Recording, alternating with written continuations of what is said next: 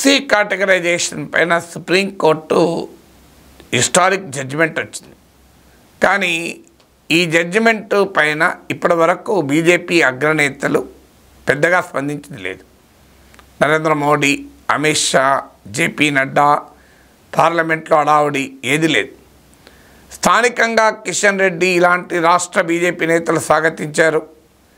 కానీ తమ తాము సమర్థించినటువంటి అంశం పైన తీర్పొచ్చింది వాస్తవంగా కేంద్ర ప్రభుత్వం ఈ ఈ కేసు సుప్రీంకోర్టు ఏడుగురు సభ్యుల ధర్మాసనం సెవెన్ జడ్జ్ బెంచ్ ముందుకొచ్చినప్పుడు కేంద్ర ప్రభుత్వం వర్గీకరణ ఉపవర్గీకరణ అని కూడా అంటున్నారు. సబ్ క్లాసిఫికేషన్ కనుక బట్ పాపులర్గా వర్గీకరణ అన్న పదం ట్రూ ట్రాన్స్లేషన్ అయితే సబ్ క్లాసిఫికేషన్ ఉపవర్గీకరణ. షెడ్యూల్డ్ కులాలే ఒక క్లాసిఫికేషన్ కనుక దాంట్లో మళ్ళీ విభాగాలుగా చేయడాన్ని సబ్ క్లాసిఫికేషన్ ఉపవర్గీకరణ అంటారు. కానీ పాపులర్గా క్యాంపెయిన్ ఉన్న పదం వర్గీకరణనే. అందుకే నేను వర్గీకరణ అనే పదం వాడుతున్నాను. లిటరల్ ట్రాన్స్లేషన్ అయితే ఉపవర్గీకరణ అనాలి.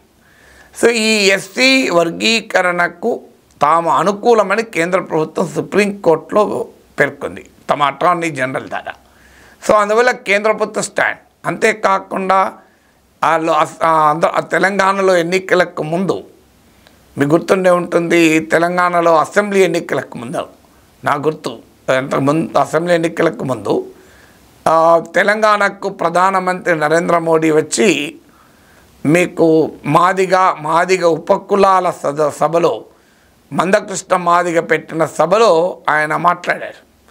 మాట్లాడి కృష్ణన్న నాయకత్వంలో తాను పోరాడుతాను సైనికునిగా వర్గీకరణకు తాను పూర్తి అనుకూలము అని ప్రకటించారు.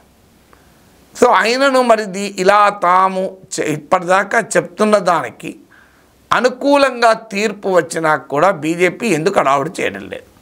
నార్మల్గా తనకు అనుకూలంగా ఒక జడ్జిమెంట్ వస్తే మామూలు అడావుడు ఉండదు బీజేపీది.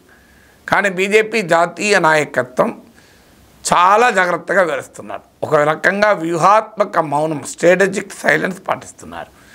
ఇది ఈరోజు పత్రికల్లో కూడా ఈ అంశము వచ్చింది. ఎందుకు? బీజేపీ జాతీయ నాయకులు వ్యూహాత్మక మౌనం పాటిస్తున్నారు అని. ఒకటి పాట వ్యూహాత్మక మౌనం పాటించడానికి కారణం ఏంటంటే ఈ అంశము ఒక్కొక్క రాష్ట్రంలో ఒక్కో రకంగా ప్లే అవుతుంది అంతటా ఒకే రకంగా ఉండదు. అక్కడ ఉన్న డెమోగ్రఫీని బట్టి మారిపోతుంటుంది. అక్కడ ఉన్న సోషియో ఎకనామిక్ సిచ్యువేషన్ బట్టి మారుతూ ఉంటుంది. ప్రధానంగా సౌత్లో ముఖ్యంగా మన తెలుగు రాష్ట్రాల్లో మాలా మాదిగా అందులో కూడా మీరు చూడండి తెలంగాణలో మాదిగలు కాస్తంత ఎక్కువ. ఎంత ఎక్కువ అనేది ఖచ్చితంగా మళ్ళీ సెన్సర్ జరిపితే తప్ప చెప్పలేము ఎందుకంటే రకరకాల క్లెయిమ్స్ ఉన్నాయి. మాదిగ ఉపకులాలు లాగానే మాలల ఉపకులాలకు కూడా ఉన్నాయి. ఇప్పుడు నేత కానీ ఇలాంటి వాళ్ళు మాలల ఉపకులాలు. అందువల్ల ఒక వాదన మాదిగలు మాలల కన్నా చాలా ఎక్కువ అని ఒక వాదన. లేదు కొద్ది మాత్రమే ఎక్కువ రిలేటివ్లీ అంత భారీ తేడా ఉండదు అని ఒక వాదన. బట్ ఏదైనా తెలంగాణలో మాదిగలదే ఎక్కువ జనాభా రీత్యా కానీ ఆంధ్ర ప్రాంతంలో క్లియర్గా మాలలు ఎక్కువ. సో అందువల్ల ఆ మాలల మాలల ఆ జనాభా ఖచ్చితంగా మాదిగల కన్నా ఎక్కువ. అందుకే మీరు గమనించండి అక్కడ కూడా చంద్రబాబు నాయుడు నేను ప్రవేశపెట్టిన వర్గీకరణ ఇప్పుడు ఇరవై ఏళ్ళ తర్వాత కోర్టు ఒప్పుకుందని ఒక మాట అని తర్వాత దానిపైన ఏ అడావుడి చేయకూడదని పార్టీ వారికి ఇండికేషన్స్ వెళ్ళాయి ఆదేశాలు వెళ్ళాయి. నాకున్న సమాచారం టీవీ ఛానళ్ళ సమాచారం కూడా అదే. మీరు హడావుడి చేయకండి అని. ఎందుకు మరి? అక్కడ మాలలు ఎక్కువ. అందువల్ల అన్ని రాజకీయాలే. సౌత్కి వచ్చేవరకు ఇది పరిస్థితి. నార్త్కి వచ్చే- మాదిగల డిమాండ్ ఇది. కానీ నార్త్కి వచ్చే వరకు నాకు తెలిసినంత వరకు చెమర్స్ అనుకూలం కాదు. వాల్మీకిస్ అనుకూలం. చెమర్స్ ఈ వర్గీకరణ వల్ల మేము నష్టపోతామని. అంటే ఒక్కొక్క స్టేట్లో ఎవరు డామినెంట్ గ్రూప్ అయి ఎవరు ఎక్కువ అవకాశాలు పొందితే వారు వర్గీకరణ వ్యతిరేకిస్తారు. ఎవరు తక్కువ అవకాశాలు పొందితే తక్కువ మా- వారు మోర్ బ్యాక్వర్డ్ ఉంటే వారు దీన్ని స్వాగతిస్తారు.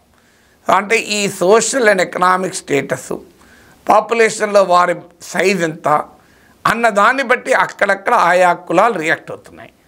అందువల్ల ఇదేమి మాలలో మాదిగల కొరకే చేసిన తీర్పు ఇచ్చిన తీర్పు కాదు. కోర్స్ మన స్టేట్లో ఉమ్మడి ఆంధ్రప్రదేశ్లో ఆరిజినేట్ అయిన మాట నిజం.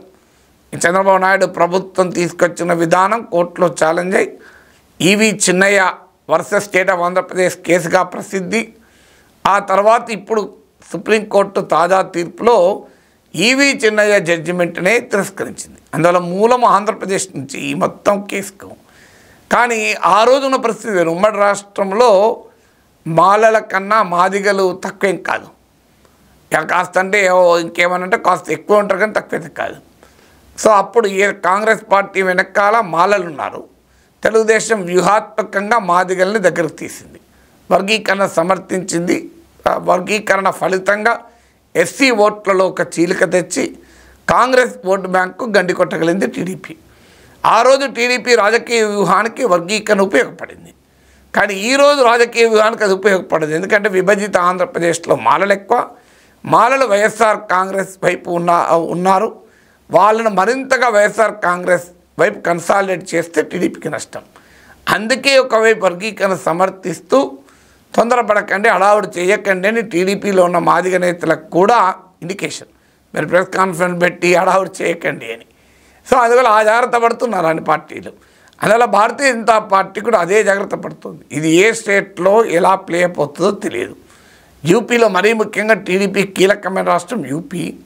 ఎందుకంటే యూపీలో ప్రధానమైనటువంటి పొలిటికల్ స్టేక్స్ ఉన్నాయి. వాస్తవంగా ఇప్పుడు ఈ ఏడుగురు సభ్యుల ధర్మాసనం పంజాబ్ కేసు పంజాబ్కు సంబంధించిన ఒక చట్టం పైన వచ్చిన రివ్యూ. నేను ఇదివరకు వీడియోలో కూడా చెప్పాను. పంజాబ్లో ఒక చట్టం చేశారు. ఆ చట్టం ప్రకారం ఎస్సీ రిజర్వేషన్లో యాభై శాతం వాల్మీకి అండ్ మజాబీ సిక్ ఎస్సీస్ వాల్మీకి హిందూస్ మజాబీ సిక్స్ సిక్కులు. సో ఇలా మజా సిక్కుల్లో ఉన్న మజాబీ ఎస్సీస్ హిందూస్లో ఉన్న వాల్మీకి ఎస్సీస్కు యాభై శాతం సీట్లు కేటాయించారు. దాన్ని హైకోర్టు కొట్టివేసింది.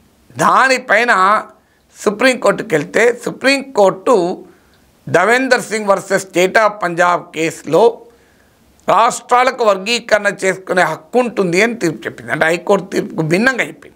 హైకోర్టు ఏమో E V Chinnaiah supreme court ఇచ్చిన ఈవీ చెన్నయ్య తీర్పు ఆధారంగా ఈ పంజాబ్ చట్టం కొట్టివేసింది ప- హైకోర్టు టూ థౌజండ్ టెన్లో. తర్వాత ఈ సుప్రీంకోర్టుకి వస్తే టూ థౌజండ్ ట్వంటీలో సుప్రీంకోర్టు హైకోర్టు నిర్ణయాన్ని తప్పుపడుతూ రాష్ట్రాలు విభజించుకోవచ్చు సబ్ క్లాసిఫై చేయవచ్చు అని తీర్పు చెప్తూ అయితే ఇది ఏడుగురు సభ్యుల ధర్మాసనానికి రెఫర్ చేసింది. ఎందుకంటే భిన్నమైన తీర్పులు వచ్చాయి సుప్రీంకోర్టు ఇవి చిన్నయ్య వర్డిక్ట్ ఉంది దా- దావేందర్ సింగ్ వర్డిక్ట్ ఉంది అందువల్ల దీన్ని సుప్రీంకోర్టు ఏడుగురు జడ్జి సభ్యుల ధర్మాసనం రెఫర్ చేస్తే ఏడుగురు సభ్యుల ధర్మాసనం ఇప్పుడు పంజాబ్ చట్టాన్ని యాక్సెప్ట్ చేసింది. సో అందువల్ల పంజాబ్లో వాల్మీకిలు మజాబీలు గణనీయమైన ఓటర్లు. అందువల్ల అక్కడ బీజేపీకి ఏం పెద్ద స్టేక్స్ కూడా లేవు కనుక ఇబ్బంది లేదు. కానీ ఉత్తరప్రదేశ్లో చెమర్స్ డామినేట్ చెమర్స్ బీజేపీ వెనకాల బీఎస్పీ వెనకాల ఉన్నారు ఎందుకంటే మాయావతి కమ్యూనిటీ. కానీ ఈ చెమర్లు మాయావతి వెనకాలన్నారు కనుక బీజేపీ తన సోషల్ ఇంజనీరింగ్లో భాగంగా నాన్ చెమర్ దళితులను అట్రాక్ట్ చేసింది. నేను ఇదివరకు అనేకసార్లు చెప్పాను నాన్ యాదవ్ ఓబీసీలని. అలాగే నాన్ చెమర్ దళిత్ అంటే యాదవ్ ఏతర ఓబీసీలు చెమర్ ఏతర దళితులు. సో ఈ చెమర్ ఏతర దళితులను ఎప్పుడైతే బీజేపీ ఆకర్షించిందో వాస్తవంగా ఇప్పుడు చెమర్లు వ్యతిరేకించిన బీజేపీ నష్టం లేదు. కానీ ఈలోగా బీఎస్పీ బలహీనపడింది.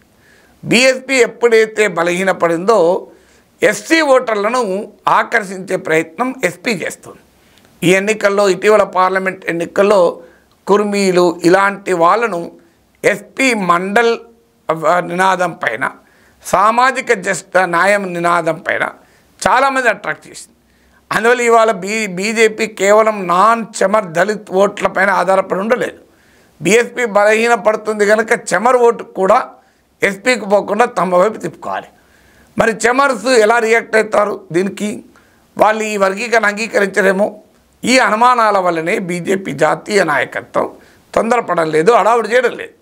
అందువల్ల ఈ ఆంధ్ర తెలంగాణ వరకు మాత్రం బ్రహ్మాండంగా ఓన్ చేసుకుంటున్నారు. మీరు గమనించండి ఈ తెలంగాణ బీజేపీ నేతలు చెప్పినంత గట్టిగా ఆంధ్ర బీజేపీ నేతలు కూడా చెప్తలేదు మీరు చూస్తూ ఉండండి. మీరు ఇక్కడ కిషన్ రెడ్డి బండి సంజయ్ వీళ్ళు మాట్లాడినంతగా ఆడ పురంధేశ్వరి సత్యకుమారు జీవి నరసింహరావు వీళ్ళందరూ మాట్లాడతలేరు. మీరు సోమవీరరావు చూడండి మీరు.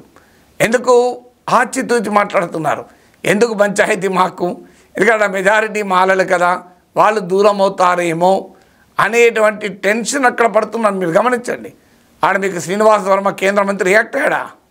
సో అక్కడ మీకు ఇక్కడ కిషన్ రెడ్డి సంజయ్ చూడు ప్రైమ్ మినిస్టర్ వచ్చాడు కృష్ణన్న మద్దతు ఇచ్చాడు మేము వర్గీకరణకు ఎప్పటి నుంచో మద్దతు అని మాట్లాడుతున్నాను. అందువల్ల ఇది రాష్ట్రానికి రాష్ట్రానికి డిఫరెంట్గా ప్లే అప్ అవుతుంది కనుకనే బీజేపీ తెలంగాణ రాష్ట్ర నాయకత్వము అడావుడి చేసిన జాతీయ నాయకత్వం అడావుడి చేయడం లేదు.